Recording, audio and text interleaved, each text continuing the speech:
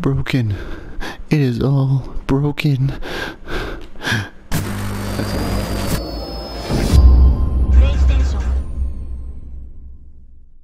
That's better. Anyway, welcome back to another episode of Redstone for Dummies. This is on the Bedrock version.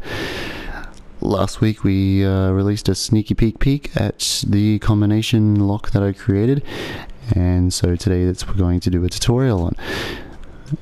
Okay, so the mechanics we'll be using in this build will be the pulse extender and an AND gate. So it's not on. It's not on. See, it's not on. But once they're all through, all off, ta-da! Oops.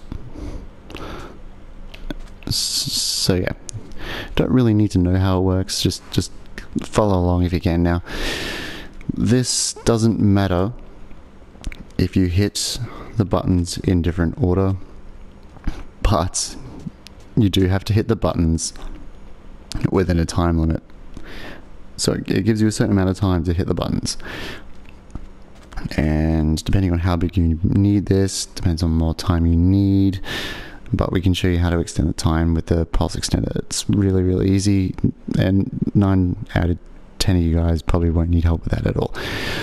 Okay, so we're going to jump into this, but first, like, share, subscribe if you haven't, and hit that notification bell too, just in case I, I, I may come up with something a little bit better in the long run when I get a little bit more used to bedrock mechanics suck. I do like the way my character blinks though. Anyway, let's get into it. This build you're going to need blocks. Of course. Just I, I never really release how many blocks is going to what. I'll try and try and put them in the comments down below, but it's it's really depending on how big you make it, etc., etc. And it, it's not that hard. It's not using a multitude of different types of blocks, so you will need repeaters, comparators, um, buttons. Um, redstone lamps are not necessary. I'm using them, so it's just a indicator. Oops. Of which one you've just pressed.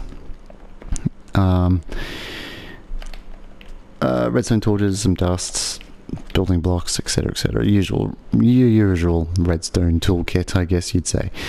Okay, so first we're going to do is you're going to build your platform, I guess you'd call it, or your panel. And on every single one of the lights, if you are building it like this, you want to put down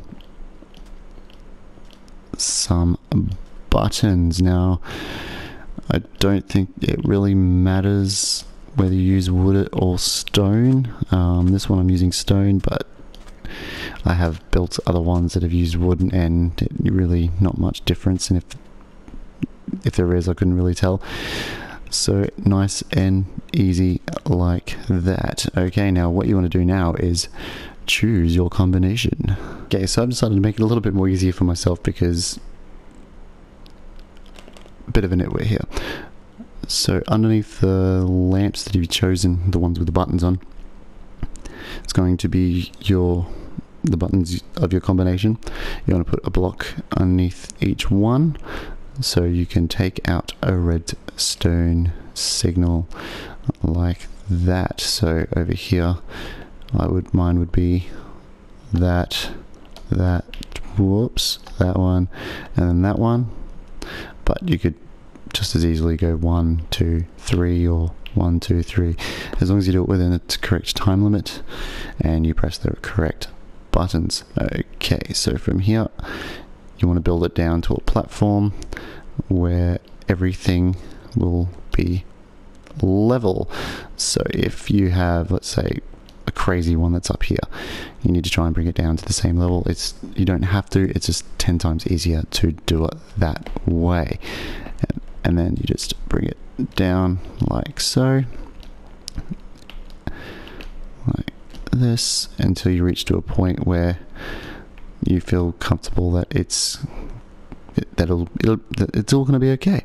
Alright, and now this part will be the easy pit, bit, not pit, bit, bit.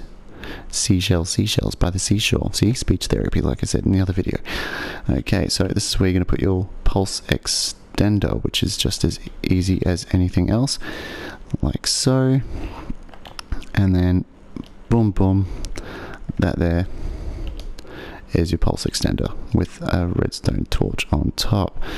Now, if I haven't already forgotten how to put that on, that should hopefully give you enough time to reach your other ones, but just in case it's not, if you need a little bit more time, just keep adding comparators in the same pattern, and that will give you a longer extension. Okay, now once that you've done that three times, put them all down to where you need to be.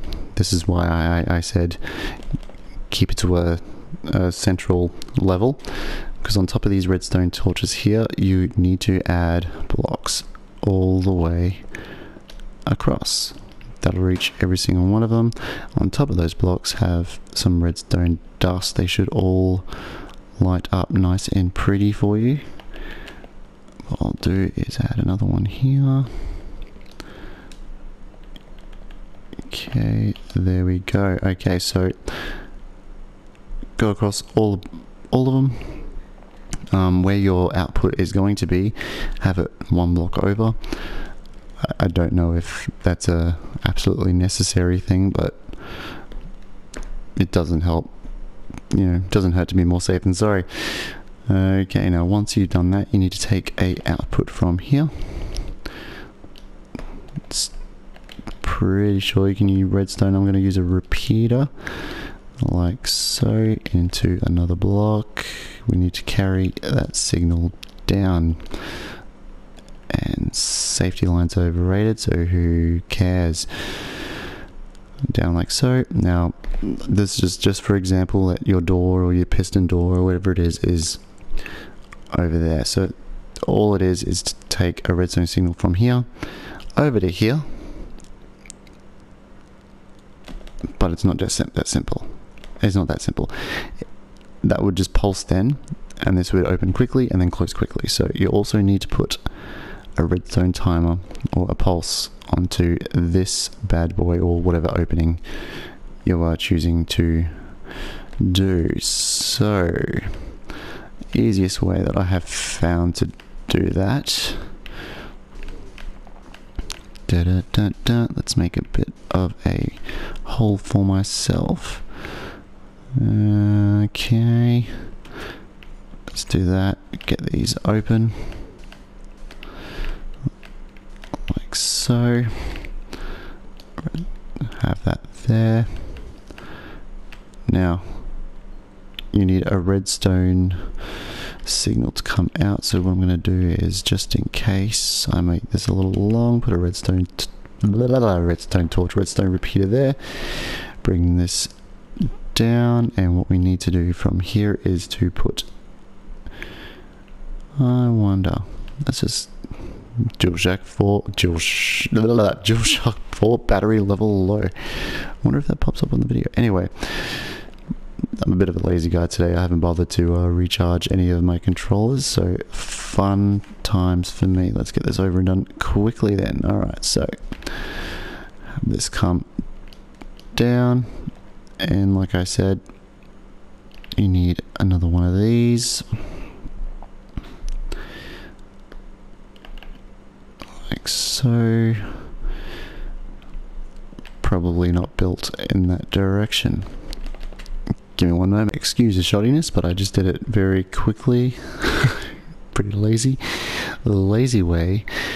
All we did was run a redstone signal uh, line down here into another pulse extender, which came from this block here.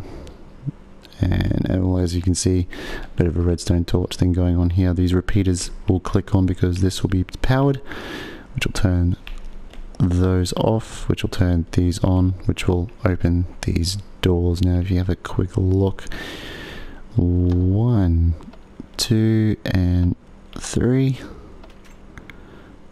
Ta-da! Okay, so what I'll do is get rid of these just to give you a quick lowdown of how it looks when it's working. I think I didn't get anything. Okay, there we go. No, we're good. Alright, so one, two, three. What did I break? What did I break? No, it's up here. Okay. So, one, two, three. There we go. So when you hit this one here, going to do that and see how it's still powered. And you still have that certain amount of time. You have that much time to get the other switches.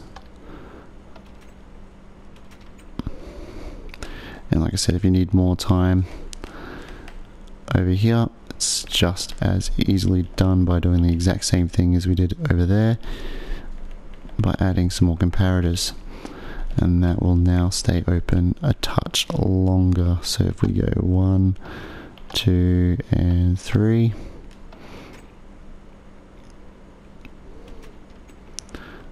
Perfect. Now obviously you do a better job with the door and stuff like that but yeah that's just the simple way to do it.